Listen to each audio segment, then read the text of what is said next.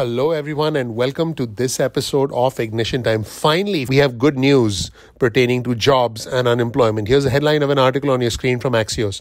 The March jobs report was good for workers hit hardest by the pandemic. So, as you know, individuals in travel, leisure, and entertainment and hospitality suffered the most. But finally, things are improving. Let's take a look at this chart on your screen, which shows you the sectors with the biggest improvement in unemployment rate. On the left, you have high unemployment in 2021, and on the right, you have low unemployment. So you can start to see that many sectors, including mining and oil and gas extraction in brown, leisure and hospitality in green, transportation and utilities in the light brown orange color, uh, professional and business services in the magenta color, and information services in the dark brown color all of those sectors have improved. This is good news for almost every part of the economy in terms of the latest March job numbers, particularly about workers who were impacted most by the pandemic. In fact, the unemployment rate actually held steady or fell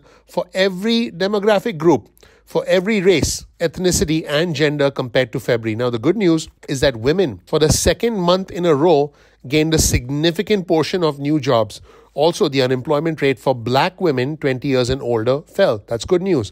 The unemployment rate also fell for workers 55 years and older. In fact, the number of people who said they were unable to work because their employer closed or lost business fell by 40% from 4.2 million in February to 2.5 million last month. Also, compared to last year, unemployment rates have fallen significantly in services like leisure, hospitality, and retail as the economy reopened. This is all good news. Also, the oil and gas industry staged a huge comeback from the low of the pandemic with business activity jumping to its highest reading in the past six years. Also, here's another headline on your screen. This one's from CNBC. March unemployment rate nears pre pandemic levels black workers see sharp improvement. This is all very, very encouraging news. Let's take a look at this image on your screen. US unemployment rates for black, Hispanic, and white workers. Black workers are represented in orange, Hispanic workers in dark blue, and white workers in light blue. As we scroll from left to right, you see that all three workers, black, Hispanic, and white, all of them saw substantial improvements in unemployment. This is good news finally. Let's take a look at this table on your screen US unemployment rates by race and ethnicity. As we scroll from left to right, you'll see that prior to the pandemic, white workers were at 3% unemployment. It went up all the way to 5.3% in March 2021 and is now back down to 3.2%, which is almost, almost pre pandemic levels. Black workers were at 6% unemployment, went as high as 9.5% in March 2021 and are now down to 6.2%, close to pre pandemic levels. Asian workers went from a low of 2.4% to as high as 5.9% in March 2021 and are now down to 2.8%. And Hispanic or Latino workers who were at 4.4% unemployment prior to the pandemic are now at 4.2%. This is close to the pre pandemic levels. This is very encouraging. In fact, black workers saw the greatest drop in unemployment rates falling from 6.6% in February to 6.2% in March. Here's a quote from Valerie Wilson, the director of Economic Policy Institute's program on race, ethnicity, and the economy.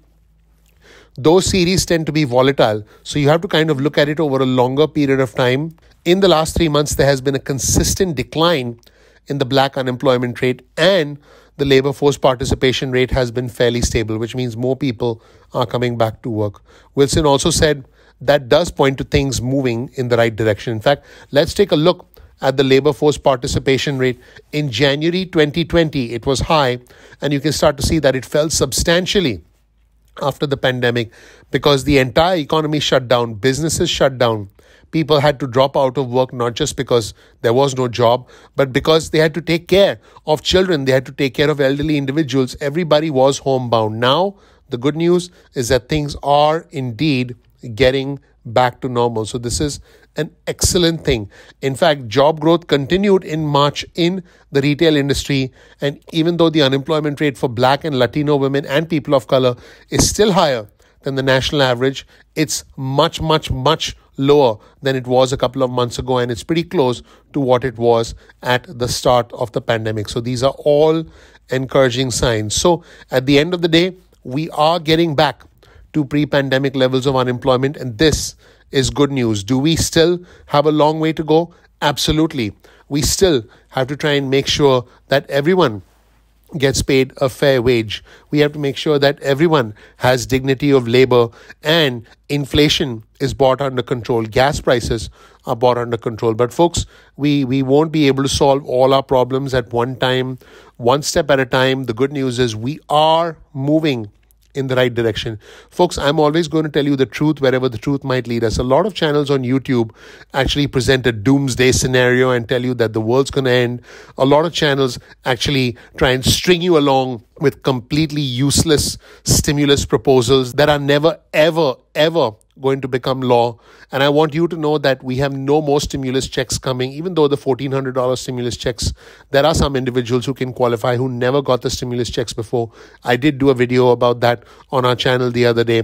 But more importantly, this is good news. We are slowly, slowly getting back to normal. And I want you to know that at the end of the day, we can all get back to work, try and get back to pre pandemic levels of employment, and hopefully, hopefully have better jobs. The problem here is that inflation is now starting to go out of control. So even if you make more money, your dollar doesn't go very far. And I'm confident that inflation will be brought back under control because that is what the Federal Reserve is trying to do. If you want me to do more videos on inflation, just let me know in the comment section below. I hope that you had you had a glimmer of hope, a ray of hope from the content in this episode of Ignition Time. Please take a moment to click like, to click subscribe, and to enable notifications. Also follow me on Twitter. My Twitter handle is ignition underscore time. That's ignition underscore time. So once again, this is great news pertaining to unemployment because a lot of individuals, a lot of ethnicities, a lot of sectors that were badly damaged as a result of the pandemic are now finally starting to get back on their feet. Thank you so much for watching. I appreciate you. I'm looking forward to seeing you in the next episode of Ignition Time. Take care. Bye.